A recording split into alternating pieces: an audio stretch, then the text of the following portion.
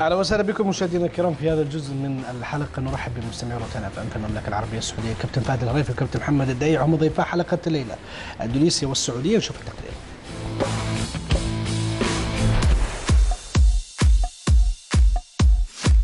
في مباراة ماطرة أعاد المنتخب السعودي الابتسامة لجماهير الوطن وعشاق الصقور. حينما تغلب على نظيره الأندونيسي في جاكرتا بهدفين لهدف ضمن مباريات المجموعة الثالثة للتصفيات المؤهلة لكأس العالم 2015 البداية لم تكن موفقة للمنتخب السعودي حيث استقبلت شباكه هدفا مبكرا بعد كرة من خلف المدافعين لم يستطع كامل الموسى تخليصها لتجد المهاجم الأندونيسي سالوسا الذي وضعها على يمين وليد عبد الله. ليرد المنتخب السعودي سريعا بهدف التعادل الذي جاء عن طريق عرضية سلطان البيشي من الجهة اليمنى ليستقبلها يوسف السالم برأسية عنيفة لم يستطع الحارس الأندونيسي أن يقاوم قوتها لتلج شباكه هدفا أخضرا. يهيمن المنتخب السعودي على أجواء المباراة وظهور لافت لفهد المولد ويحيى الشهري الذين أزعجا الدفاعات الأندونيسية بتحركاتهما. كرة متبادلة بين الشهري والمولد تنتهي لقدم تيسير الجاسم الذي سدد قوية ولكن الحارس الأندونيسي كان في المكان المناسب وأنقذ الموقف. ليرد الأندونيسيين بكرة عرضية يستقبلها سيرجيو لكن وليد عبد الله كان في الموعد وألغى خطورة الكرة. في الشوط الثاني ضغط المنتخب السعودي بحثا عن هدف ثاني وهذا ما تحقق بعد مرور عشر دقائق فقط. عندما أرسل سلطان البيشي كرة عرضية بالمقاس على رأس يوسف السالم الذي عالجها في الشبكة الأندونيسية. يواصل الأخضر الضغط ويتولى تيسير الجاسم مهمة إرباك الحارس الأندونيسي بالتسديد من خارج المنطقة في أكثر من محاولة لم يكتب لها النجاح. الدقائق الأخيرة تشهد ضغطا أندونيسيا بغية إدراك التعادل لكن دون فائدة لينتهي اللقاء بتفوق سعودي. أوصله للصدارة بست نقاط فيما بقي المنتخب الإندونيسي دون نقاط في المركز الأخير.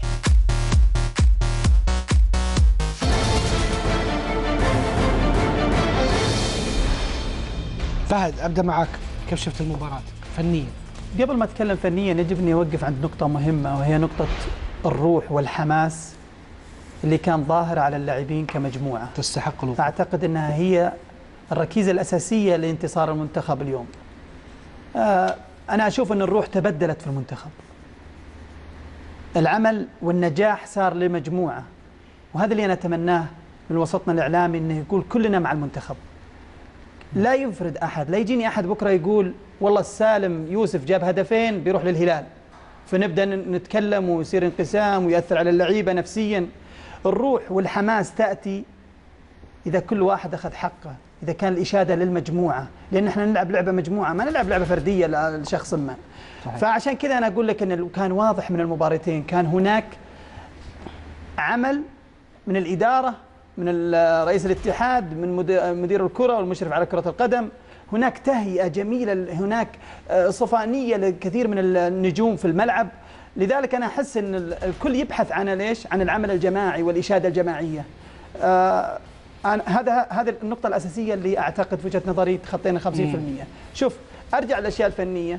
رغم البداية السيئة للمنتخب لما أقول بداية سيئة أنه يولج في بابك هدف مبكر أمام هذه الجماهير آه، آه، ال- الكبيرة أعتقد أنه له تأثير خاصة تعرف أن اللاعب السعودي في الأجواء الماطرة لا يعطيك هذاك العطاء الجيد. يكون هناك تخوف عدم حسن تعامل للكرة وللجسم في ال- في الملعب. لكن لله الحمد هذه الروح وهذا الحماس وهذا التشكيل الجيد وهذا التكتيك المناسب على اللعيبة. اليوم أشيد بمدرب المنتخب. آه، يعني لما تشوف المنتخب ما هو بس في الطريقة حتى في التوظيف. أنا أشوف اليوم يلعب المنتخب 4 5 1 تقدر تقول 4 2 4 لأن لما أشوف العابد وأشوف فهد المولد ما شاء الله تبارك الله كأننا كأنهم يلعبون آه، أربعة مهاجمين في ظل آه، السالم ويحيى الشهري يلعب يعني خلف آه، السالم أعتقد المنتخب كان متجانس كان متكامل من كل طريقة أنت تبغى تلعب بها. في ناحية آه، تغيير ال- ال- التكتيك أنك تكون مهاجم في ناحية أنك ترجع يعني ال- اليوم كان المنتخب متكامل كان هناك تألق من كثير من النجوم. ما كان يخاف على المنتخب وهذه جزئية في في المباراة خاصة في نهاية الشوط الأول ونهاية الشوط الثاني كانت في الأخطاء الباصنة للعيبة الوسط. تجعل هناك هجمة مرتدة. ما لها داعي. ت- أي نعم. وتج... وتخليك في في نوع من القلق للمنتخب. ولكن الأداء الجماعي اليوم الفريق دخل ككل لجو المباراة. لما تلعب جماعي الفريق تنقل. ل- لكل المجموعة. أعتقد إنك تعطيك ثقة في النفس تعطيك محافظة على اللياقة. يكون الخصم هو اللي يجري ورا الكرة أكثر منك. مم. هذا ما شاهدناه اليوم. اليوم أنا أ- أ- يعني قد يكون هناك صعب أ- أبغى أقاطعك بس أبغى أسألك عن منصور الحربي تحديدا. السلام عليك. منصور الحربي لاعب أخطأ بداية المباراة خطأ وكلف هدف لكن عودة قوية جدا خلينا نقول فورمه المباراة. و- وكان قاعد يقول للمشاهد أوكي أنا غلطت غلطة أبى أعوض عن هالغلطة 86 دقيقة من المباراة. يعني قدم 86 دقيقة لا يمكن تشك إنه هذا اللاعب أخطأ بداية المباراة. شوف الكابتن منصور أنا أتعب. إذا مدحته يعني ما ألقى كلمات كثيرة أقولها لهذا اللاعب. اللاعب الوحيد اللي في المنتخب اللي ثابت اداؤه بالمنتخب وبالنادي. طوال الموسم وين الأرق والإرهاق والضغط والمباريات اللي يتكلموا عنها؟ عند منصور ما, هي موجودة. اللاعب أنا أشوف إنه رجع أيام محمد عبد الجواد. تبغاه مهاجم مهاجم. من الصعب إني أقول منصور عنده نقطة ضعف. انبراشاته جيدة توقيته سليم آه، يعرف متى يطلع للهجمة متى يفتح في اللعب متى يمشي بالكورة عنده توغلات جيدة عنده عكسيات جيدة. من الصعب أني أقول ما شاء الله تبارك الله لياقته عالية آه، دفاعيا من الصعب أنك تروح منه. يعني ما شاء الله تبارك الله. العودة للمباراة يعني أنك بعد هذه الخطأ مهاره هذا. هذا نوع من المهارة انك, إنك ترجع بعد غلط؟ ولا. ولا هذه ثقة كبيرة وتعود وقدرات لدى اللاعب. هي ما تأتي أنك شد حيلك وذا. لا أكيد فيها قدرات. أكيد لديه إمكانيات هائلة. الثبات المستوى هذا اللي لا يعرف فريق صغير فريق كبير منتخب نادي هذا هو المستوى ما شاء الله تبارك الله. على كل ما هو منصور الحالة. بس كان بأمانة أتكلم بس عن- من أفضل لاعب عندي. عن- عن جزئية الغلط ونرجع. كريري تيسير يحيى آه، سلطان البيشي اليوم من أفضل مبارياته صراحة. لا بعكسياته الهدف الثاني إعجاز. هذه الكره المفاجئة اللي يحتاجها راس الحربة. ما هو لازم تروح للخط وتعكس. هو عرف كيف يموه كيف يدخل كيف يعكسها. أنت فهمت علي؟ كان نوع من التفاهم موجود في الكو يعني آه، أنا أقول لك اليوم كلهم نجوم لن أستثني أحد. لما أشوف لعب جماعي لما أشوف هناك آه، روح موجودة لما أشوف هناك آه، توظيف سليم من المدرب حتى المدرب يعني على في تغييراته حتى قراية اللعب والتغييرات كانت جيدة الحقيقة. محمد؟ شوف بقول لك أول شيء هني اللاعبين صراحة. على الروح القتالية اللي اليوم آه، شفناها. يمكن اللاعب السعودي الحمد لله الدوري السعودي إنه دائما اللقاءات الجماهيرية إنك تشوف مباريات حلوة. أعتقد إن لما شفت ال- الجمهور 88 ألف متفرج والامطار وما الأمطار أعتقد إن المنتخب السعودي اليوم يمكن الشوط الأول جميع المحللين إنهم انتقدوا التنظيم اللي لعب عليه المنتخب. أعتقد اليوم في طريقة خطة وفي طريقة أنت لما تشوف العابد يمكن ما ظهر العابد بالشوط الأول لأنه قاعد يطبق تكتيك مدرب. آه، فهد المولد لأن قطعت منه الكورة شوف كيف ال- الرجع على طول إنه يساند آه، البيشي. آه، سعود كريري النواحي الدفاعية. تيسير والتنظيم. أعتقد هذا كله شغل مدرب وتطبيق لاعبين. ال- اليوم بس اللي ينقص المنتخب التنظيم الدفاعي. التنظيم الدفاعي لا في أول مباراه ولا في آخر المباراة. أعتقد أسامة وكامل يمكن تكررت سواء مع الأهلي أو مع المنتخب الأخطاء هذه إنهم دائما يرجعون ورا. أنت دائما تقول ما بين رأس الحربة وما بين ال- ال- ال- السناترة إنه 30 متر فقط. على أساس ما ما توجد المساحات للفريق الخصم. الفريق الاندونيسي صحيح إنه يعني مستواه يعني ما هو ذاك المستوى إنه أعتقد 11 لاعب ما لعبوا مباراة ال- ال- العراق اليوم غير 11 لاعب تشكيلة جديدة. أعتقد هذه بعد ساعدتنا كثير أنه آه، أننا نقدم مستوى طيب. لكن أرجع للمباراة. المباراة صراحة لا بطريقة أهدافه آه، ولد نجم صراحة اللي هو آه، يوسف السالم. يمكن الكثير من النقاد إنهم يطالبون بنايف الزازي قبل المباراة لكن أثبت يوسف السالم اليوم إنه رأس الحرب القادم. يحيى اللي كثير الناس طالب فيه إنه من زمان اليوم أعطاه المدرب فرصة. أعتقد شفنا يحيى وطريقة لعبه وصنع للالعاب العابد والمولد صراحة يمكن هذا مستقبل الكرة السعودية. إنك لما تشوف لعيبة شباب وتطبق تكتيك معين طلبه المدرب منهم أعتقد هذا الحمد لله تقول هذا فعلا إحنا بحاجة ثقافة اللاعب. لأنه الاحتراف آه، إذا ما عندك ثقافة لا يمكن إنك تطبق طريقة مدرب. تعرف اللاعب السعودي دائما يبغى له تطبيق ما هو تنظير. يعني في فرق بين التنظير وبين التطبيق. اليوم شفنا يمكن آه، طريقة لعب مختلفة اللي هي آه، أربعة اثنين ثلاثة واحد. طبقت بحذاريفها لا الشوط الأول ولا الشوط الثاني. شيء طبيعي إنك لما تلعب قدام 88 ألف متفرج إنك تظهر بمستوى اللي ظهرت به اليوم. آه، تعرف الحماس والروح والقتالية والمهارة فعلا المهارة. تفوقنا اليوم بمهارة لاعبينا صراحة. يعني المهارة حقت اللاعبين اليوم لا فهد المولد ولا نواف العابد ولا يحيى ولا يوسف. أعتقد إنه 10 على 10 صراحة اليوم. آه التنظيم الدفاعي بس لكن آه نشيد بالمدرب بعد برضه. انتقدناه مباراة الصين وانتقدناه مباراة ماليزيا.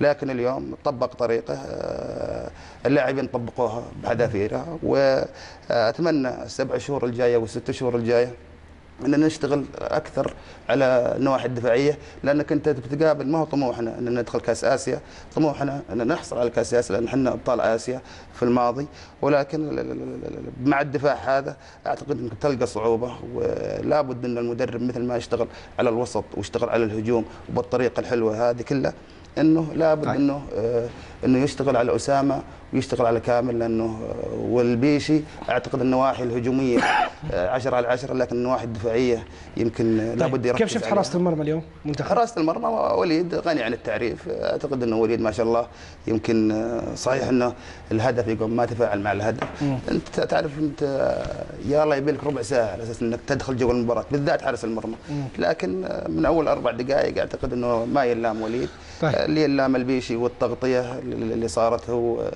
والحربي منصور. ولكن مثل ما قلت أنت لاعب يخطي ويعطيك نجومية في المباراة. أعتقد هذه هي الثقافة اللي إحنا بحاجتها فهد يوسف السالم هو مثال للاعب اللي زي ما يقولون جوعان يعني يبغى فرصة ولما جت الفرصة يقول للناس أنا الشخص المناسب أو اللاعب المناسب في المكان المناسب. وجه رسالة يوسف السالم إنه هذا المكان أنتم بس أعطوني فرصة واتركوا الباقي علي. كلامك سليم خليني أجيبها برأي ثاني. إنه الفرق بين ريكارد ولوبيز إنه لوبيز يأتي بالتكتيك اللي يناسب الأدوات عنده اللي يناسب اللعيبة. ما أجي أنا ريكارد وأجيب آه، خطة أوروبية زي هولندا ما تلعب وزي كذا تناسب أدواتي ولا ما تناسب لعيبتي لعيبتي. لوبيز اللي يعجبني اليوم صحيح إن إندونيسيا ما هي مقياس للمنتخب السعودي. وترى إحنا لما نتكلم عن اندونيسيا. ترى اندونيسيا أول على ايامنا الثمانينات والستينات. ترى تغيرت وتطوروا. إحنا كنا نقول تطور. لما نفوز نقول فريق ضعيف المنتخب ضعيف. ما هو صحيح. المنتخب الاندونيسي تطور. والمنتخبات شرق آسيا تطورت كلها. إحنا نتفق على هذا الشيء. لكن اللي يعجبني في لوبيز إنه أختار الجاهز وظف توظيف جميل في الملعب خاصة إنك تلعب خارج أرضك وأمام جماهير غفيرة. فلذلك أنا أقول أتفق معك إنه الجاهز في الدوري هذول اللعيبة كانوا موجودين أيام آه، ريكارد. وينهم؟ يحيى الشهري ما كان موجود. أنصاف هذه اللعيبة كانوا موجودين لكن أتى المدرب اللي قال الجاهز هو اللي يلعب. طيب. فأنا خلينا يعني نشوف تقل... سؤالك آه، طيب خلينا نشوف تقرير يتحدث عن مدربي المنتخبين المنتخب الإندونيسي والمنتخب السعودي. نتابع.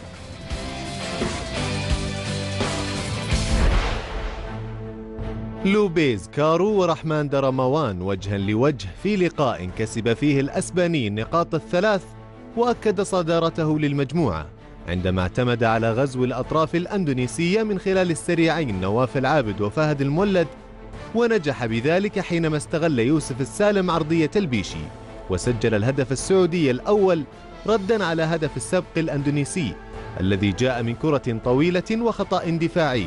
حيث عزى رحمن درموان للاعبيه الاستمرار في لعب الكرات الطويلة أملا في تكرار الأخطاء الدفاعية ولكنه لم ينجح في مضاعفة النتيجة.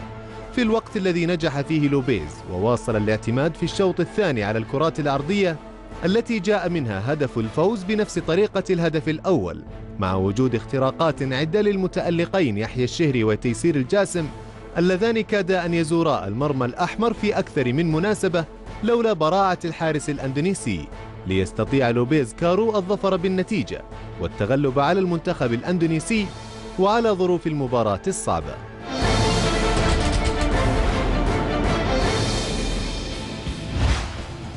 مدربين فهد؟ آه ما في شك انه هناك فرق كبير. هذا مدرب جديد أعتقد كان توه متغير وجاء حق أندونيسيا. لكن إنه لوبيز الحقيقة أنا كل إن شاء الله كل احترام مباريات الم- المباراتين اللي قدمها مع مباراة ماليزيا. أعتقد إنه آه، المدرب تقرأ أفكاره حتى في تغييراته. آه، اليوم المنتخب السعودي كان يحتاج أكثر من اللاعب يجيد التصويب.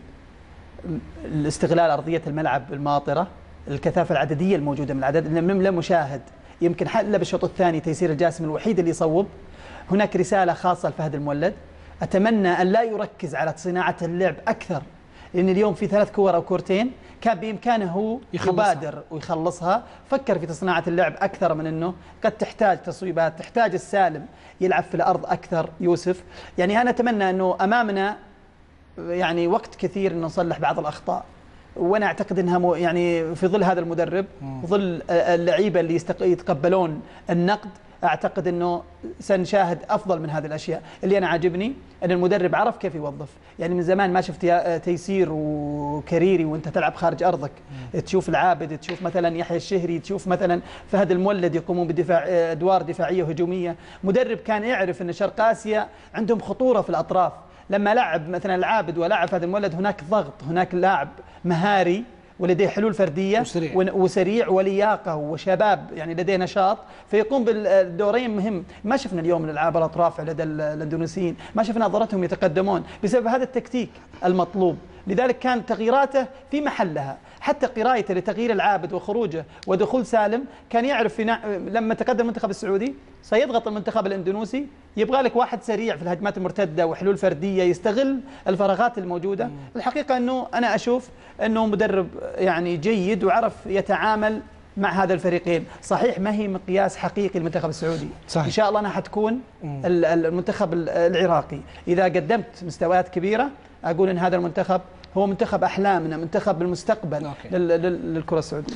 محمد. أنا أقول المدرب طبعا آه، صراحة يمكن اليوم شفنا طريقة لعب آه، شفنا التغييرات حتى التغييرات اللي في آخر الوقت. إنه يوم ينزل عسيري ويحط محور مع سعود كريري وينزل هزازي بآخر دقيقتين. يمكن الكل انتقده قالوا لي كيف ينزل لاعب بحجم نايف هزازي دقيقتين. نايف هزازي إن ال- ال- الفريق الإندونيسي تعرف يدور على ال- الفاولات اللي قريبة ل 18 على يلعب الكرات العرضيه طبعا ما في إلا أسامة اللي يمكن أطول واحد.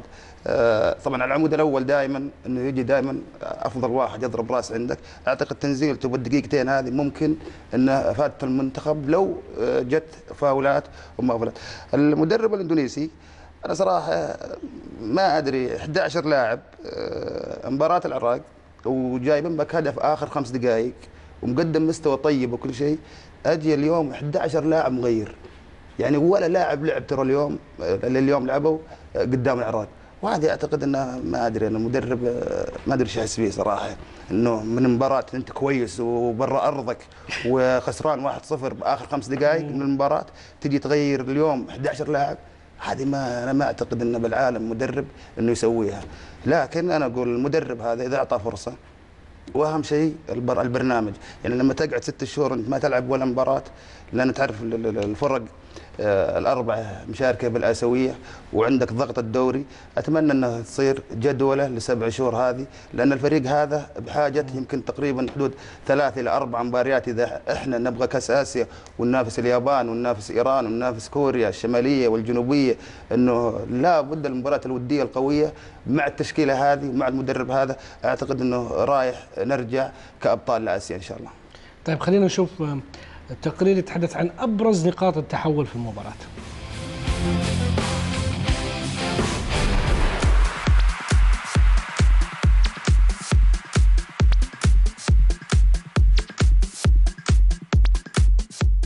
تحت زخات المطر الغزير وعلى الأرض وبين الأنصار ورغم مفاجأة سالوس في أول دقائق المباراة إلا أنها حضرت انطلاقات سلطان البيشي ورأسيات السالم. ومهارة يحيى والعابد وسرعة المولد وقذائف تيسير. بالإضافة لتمركز القائد كريري في منطقة الارتكاز وبتواجد السد العالي هوساوي في مناطق الأخضر الدفاعية وإلى جانبه كامل الموسى. شوط أول ظهر فيه نجوم الأخضر بشكل جيد إذا ما أخذنا عامل الأجواء الذي اعتاد عليه أبناء الشرق بعين الاعتبار. الشوط الثاني يشهد كلاكيت للمرة الثانية ورأسية السالم تحدث التحول بعد عرضية البيشي وقذائف المنجنيق تتوالى. الأخضر يستحوذ على جميع مجريات الشوط وسالم الدوسري وأحمد عسيري ونايف هزازي بدلاء للعابد ويحيى والسالم. وسالوس الأندونيسي يزعج الدفاعات الخضراء في الدقائق الخمس الأخيرة التي احتسمها الحكم الكوري الجنوبي وبالنهاية يخرج منتخبنا السعودي بالنقاط الست والدرجة الكاملة ومتصدرا للمجموعة.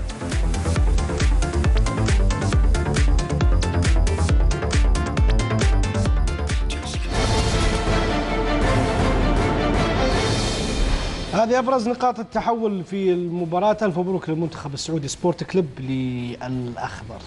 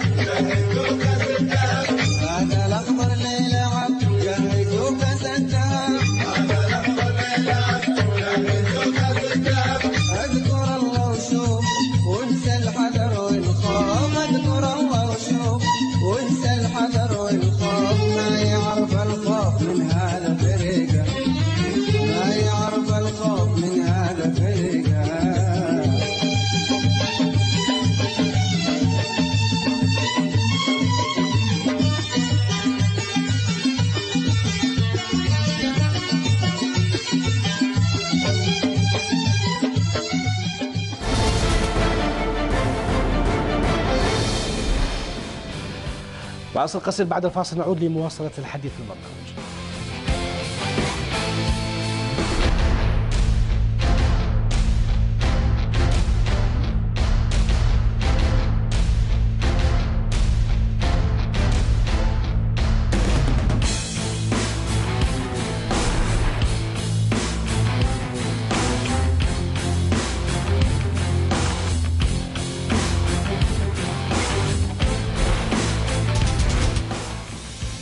البرنامج مدرب نموذجي يؤكد أن العامل النفسي هو الفيصل لتحقيق لقب زين. ولا أجيد لعبة التخدير الإعلامي.